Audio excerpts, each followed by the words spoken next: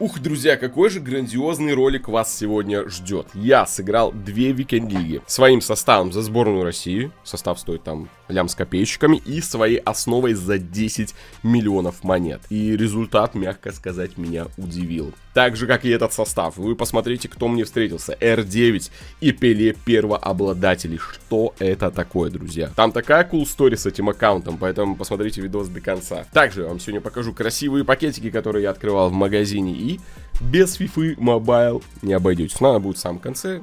Кому надо, тот посмотрит. Там тоже дроп грандиознейший. Пожелаем всем приятного аппетита, приятного чаепития, кофе-пития и... или что там пьете.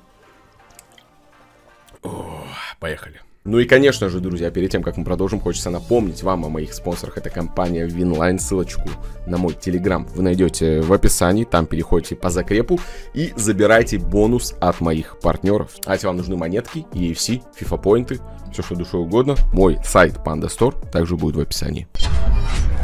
В общем-то, друзья, проснулся я в 9 утра, и я подумал, что это у меня много свободного времени сегодня. И решил провести эксперимент, сравнить два моих состава. Состав за 10 миллионов и состав за 1 миллион с эволюционной сборной России. Собственно, с этой командой я и начал свой путь в Викенд-лиге. Начали, как обычно это и бывает, с довольно-таки лайтовых соперников. Параллельно я эволюционировал Илюченко, чуть позже про него расскажу. Первый матч там 5-0, второй матч там 2-0. В общем, отлетали все только так. Ну, как вы знаете, это тот сценарий, который может вас немножко, так скажем, э, подъебать. Потому что дальше происходит вот это. Посмотрите на эти шикарные отскоки. В следующем матче практически то же самое происходит. Опять какие-то невероятные отскоки. Вообще, если в целом охарактеризовать эту викингу двумя словами, это ебаные отскоки. Как они меня заебали. Посмотрите вот на этот шедевр. Сколько раз этот мяч отскочил на ногу. Ну, как будто бы, знаете, вот э, бывают моменты, когда тебе уже кажется, что игра запрограммировала, что это будет гол, и ты уже ни хера не сделаешь, чтобы его не пропустить. Зато, смотрите, как красиво тут у меня какой-то мэн забивает. В общем-то, отыграли мы 9 матчей а, в таком непонятном темпе, и стата у меня была 4-5 вроде, да, что-то такое. Сами понимаете, не очень грандиозно, даже учитывая что у меня состав сборной России, поэтому я там взял какие-то арендованные карточки, кто-то у меня там э, на заменке был, и мы пошли уже с новыми силами доказывать. А тут есть что доказывать. Мбаппе нам встречается в составе. Тут я как говорится, в одном меме испугался. Но страх оказался фантомным, потому что мы э, быстренько заколотили ему два мяча, и соперник не выдержал. Вот так вот, друзья. Мапе не справился. Дальше нам встретился босс качалки, это Хён Сон Мин и Гризман в атаке. И, и как вы поняли, тут все сводилось к тому, что чел получает мяч и просто нон-стопом херачит финессы. Мы тут даже боролись, пытались что-то показать, но финессы не контрятся. Я не знаю, я двигаю вратаря, не двигаю, он как долбоеб просто внутрь уходит. Короче, полная дичь, блядь. Зато посмотрите, какой красивый гол забил Захарян. Какое дерьмо он мне забивает, какие шедевры я ему закидываю.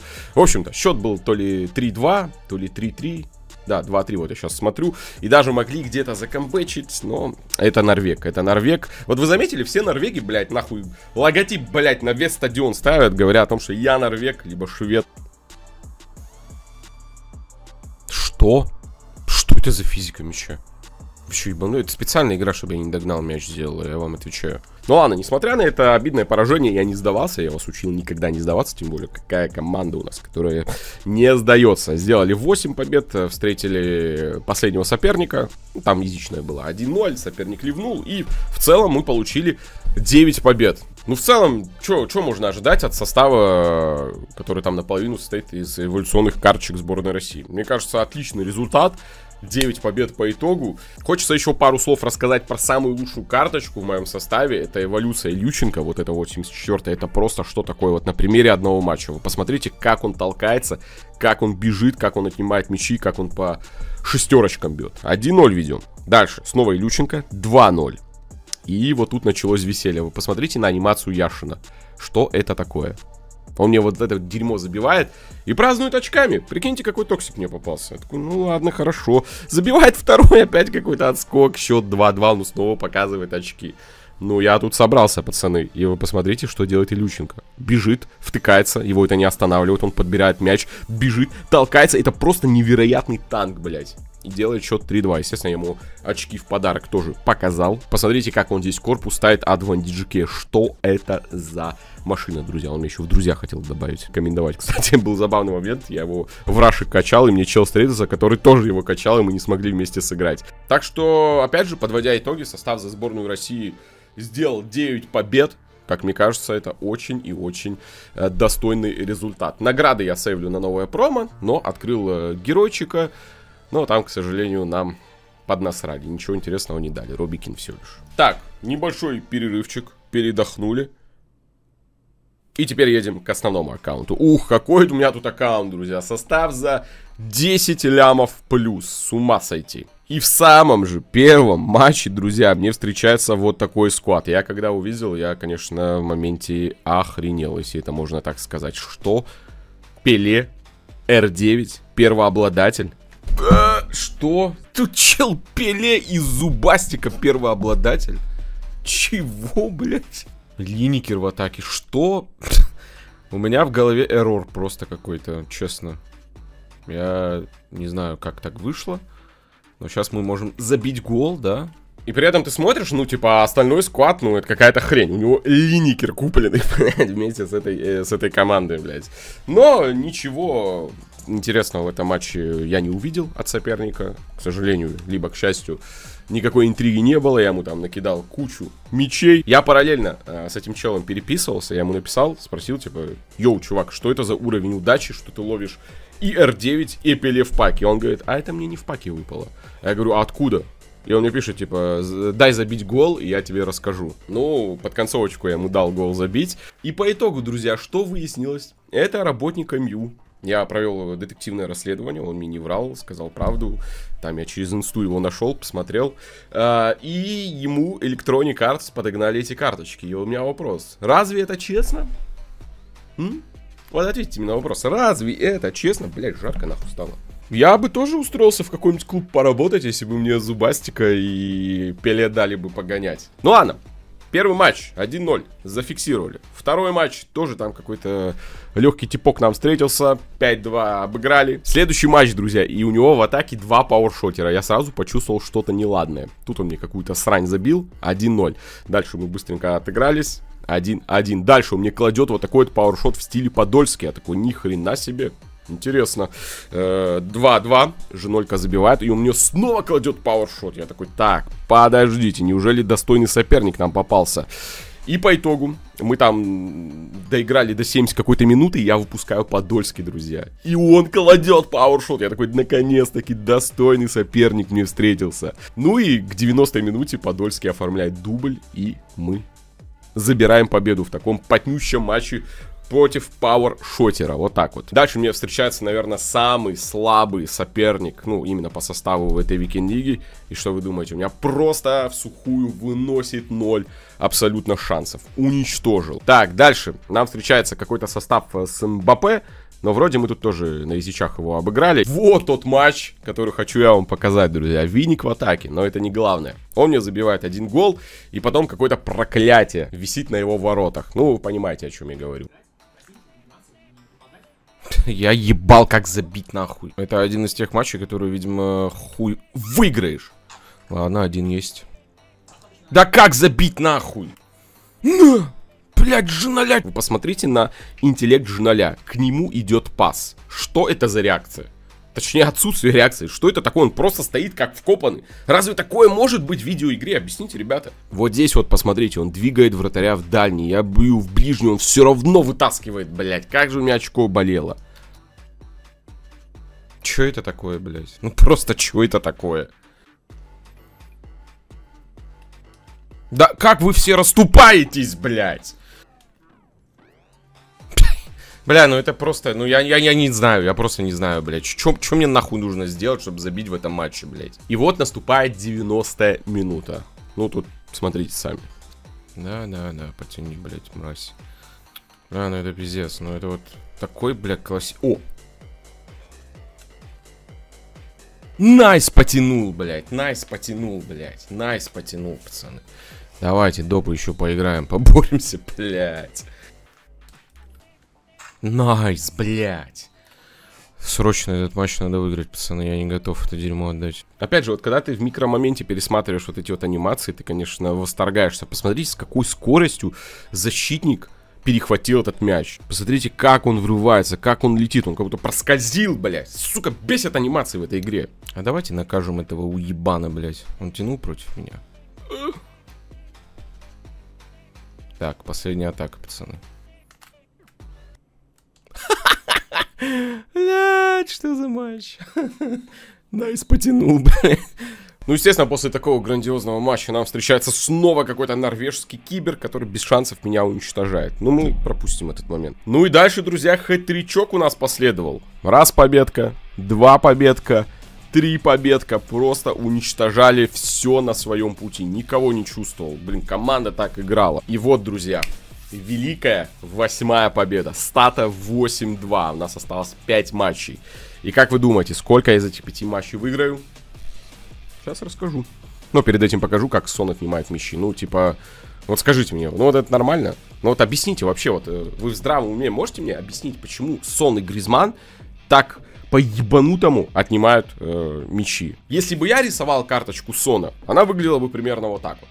Вот без пизды. Там деф минимум 90 как будто бы у него. После статы 8-2 босс качалки зашел. Мы тут э, проигрывали 3-0 на 83-й минуте. Мы даже могли сделать камбэк, но эта крыса начала тянуть. К сожалению, крысу не наказали.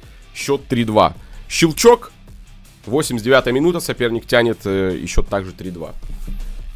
Возможно, кто-то подумает, что это тот же самый матч. Нихуя, это следующий же матч, вы понимаете? Я как будто бы в моменте попал в петлю времени. То есть два практически идентичных сценария. 3-2, 3-2, на 90-й соперник тянет мяч. И вот, два луза подряд. Что же будет дальше? А дальше, друзья, что вы думаете? Э, мистер э, Зеленый ТФер мне попался. Просто каждый удар в зеленый ТФ. И тут тоже бесшансовое уничтожение. И вот оно, три луза подряд. И что вы думаете дальше, друзья? Четвертый луз подряд, тоже вообще без шансов. И вот в моменте стата 8-2, друзья, у меня превратилось в стату 8-6. То есть на этом этапе я уже такой сижу и думаю, так, подождите, то есть я сейчас сделаю либо такой же результат, как э, состав сборной России, либо даже хуже. Ну ладно, оттягивать не буду, мне в концовочке дали, ну, прям какого-то откровенного бомжа, которого я обыграл со счетом 5-1. То есть они такие кости кинули, типа, ну ладно, на, чтобы ты не расстраивался после четырех лузов подряд. Бля, четыре луза подряд. Я еще каждому заходил на аккаунт, смотрел, это либо швед, либо норвег. Каждый бьет в зеленый ТФ, каждый знает все метовые фишки. Ну и у каждого, естественно, по стандарту состав хуже моего. Это то, о чем я вам каждый раз говорю. Состав не имеет значения, и эти две викенд-лиги доказывают то, что я всегда вам твержу. Состав за лям, состав за 10 лямов, а один хуй, один и тот же результат. Так что pay to win, по сути, в этой игре не работает абсолютно. Я вам честно скажу, в этой викинге Жуналя это просто кусок ебаного говна. Как же хуево он двигался. У него как-то статы были, бля, бронзовые карточки. Я вам отвечаю, Илюченко даже лучше выглядел, чем, блядь, Жуналя. Я не рофлю. Илюченко лучше играл в викинг-лигу, чем Жуналя, блядь. Не знаю, может быть, блядь, коннект, может быть, хуект, может быть, подбор. Я уж не знаю, на что сетовать, блядь. Либо, бля, я не знаю, в моменте просто разучился играть. Такое же тоже бывает. Награда, опять же, я сейвлю на новое промо. В пятницу уходит, поэтому в пятницу приходите ко мне на Twitch канал. Там у меня миллиард паков примерно засейвлено. Я вот э, в пике 84 плюс вроде поймал этого Фабио Карвалио. Я сейчас смотрю, его нет на рынке. Там, видимо, какой-то прикольный кибер за него закреплен. О! Мы сразу карту... Это что за анимация? Что за темнота? Нихуя не вижу, блядь. Что это за анимация, блядь? Просто по коридору идет, говорит, темнота. Что это? Кто это? Чё за... Что это за анимации, блядь? Чимберлен, нихуя себе статы. Бля, у него ЦАП, РВ, РМ. Что за пиздец? А где ЦП позиция? Что за хуйня? Какой-то новый пик за 150 тысяч появился. Открываем. Самбо. Самый крайний. Бебен Рахма. Блять, 2,85. Блять, третий 85. А четвертый будет 85? Пиздец, говна дали. Ну, я в ахуе. Так, давайте, второй мы тоже откроем. Опа, долотик. 218 тысяч. Мы окупили пик. Кто пиздел, блядь? Окупили пик. А, слева открываем. Гримальдо. Слушайте, а тут уже рейтинги побольше. 86, 87. А Гбадноу, неинтересно. И последний. Хесус Навас. Ну, Долотика забираем. Содержит 80 игроков с общим рейтингом 80 или выше. Охуеть. Смотрим, 80 игроков, 8... Так, невероятный волкаут, нихуя не видно, ЦЗ... А, что, блядь, темнота такая, пиздец. Что за ним? Де Брюне, 90 И Грегерс... Грегер... Грегерсен, блядь. Фух, друзья, в общем-то, вот такой вот контент получился, что я могу сказать, я заебался, блядь, отыграть две викенд-лиги, потом еще эти две викенд-лиги смонтировать, ну, типа, я ж монтирую сам, поэтому у меня двойная работа получается, надеюсь, вы кайфанули от этого ролика, будет обидно, блядь, иногда, знаете, я вот делаю какие-то такие длинные, как мне кажется, интересные ролики, и они набирают, ну, там, бля, в 10 раз хуже, чем какая-нибудь нарезка с трансляции, я такой, блядь, что я делаю не так, поэтому, если вы посмотрели этот ролик, не поленитесь, напишите какой-нибудь комментарий, оставьте Лукас, пишите в комментариях, как вы отыгрываете Викинигу, что считаете по поводу моей философии, что состав нихуя не решает. Я вам даже вот на деле уже доказываю, что он нихуя не решает. Да, если в процентном соотношении 80 на 20, наверное, примерно получается, 80% это руки, ну и 20 бонусом вы получаете там э, буст от карточек. Опять же, 9 побед это неплохой результат, я не буду прибедняться, это типа окей, такой средний хороший результат в этой игре, но когда, блядь, ты составом за лям и составом за 10 делаешь один и тот же результат, ты иногда думаешь, а нахуя мне эти карточки, блядь? Надо играть душевными карточками, ребят. Это та философия, которую я всегда продвигаю. Играйте душевными карточками и кайфуйте, бля. Для этого как раз у меня есть вот аккаунт со сборной России. Вот и так, друзья, много напиздел. Надеюсь, я вас не заебал. Если заебал, напишите об этом в комментариях. Будет интересно почитать, кого я заебал. А дальше любители FIFA Mobile кайфа. Я уже как традицию делаю, что после основного ролика немножко добавляю FIFA Mobile. Все. Теперь пойду это все монтировать. И снова, друзья, всех рад приветствовать в мобильной фивке. Сейчас вам расскажу, покажу, что изменилось в моем составе. По традиции откроем пикетики, а, заберем награды за премиум абонемент. Дошел даже резину 96 уже. Составчик я немножко переделал. Как вы можете заметить, тут новые карточки, которые мне упали вне записи. Это Жао Канцелу, отличный ЛЗшник, уже прокачал до 106 рейтинга, надо будет потом до 107 прокачать. Это Стивен Джерард, который мне упал, он вроде 103 был, до 107 качнул, Пирла вы вроде видели, прикупила себе Беллингема 108 за лярд. Так, давайте начнем э, с пика 1 из 4, Тут может упасть 96 102 либо 103 105 И наслаждаемся своими наградами. Опа, сколько? 3,99 карты. Вот тут надо уже посмотреть, кто из них дороже всех стоит. Ну, по футбину местному говорят, что самый дорогой тут Решфорд. 52 миллиона стоит, кстати. Нормально. Так, теперь 99-105 игрок золотого меча. М -м, это Кэхел, он мне уже падал вроде, да. Так, теперь сотый плюс за 500 поинтов. Так, это великий нападающий Джека. Кейхел Джека, пока что идем по прям лютым типам. О, Корея. Кто там? А, там ЦЗ Кимнинджа. Я на секундочку подумал, может быть, это Сончик, но нет, это центральный защитник. Вот такой вот интересный пак в магазине. 101-103 рейтинг за 800 поинтов. Смотрим на флаги. Испанец, э, вратарь, э, кто там, чуть даже не знаю. Дехе 101. Нет. Ну же, давайте, что-нибудь грандиозное. Флаги.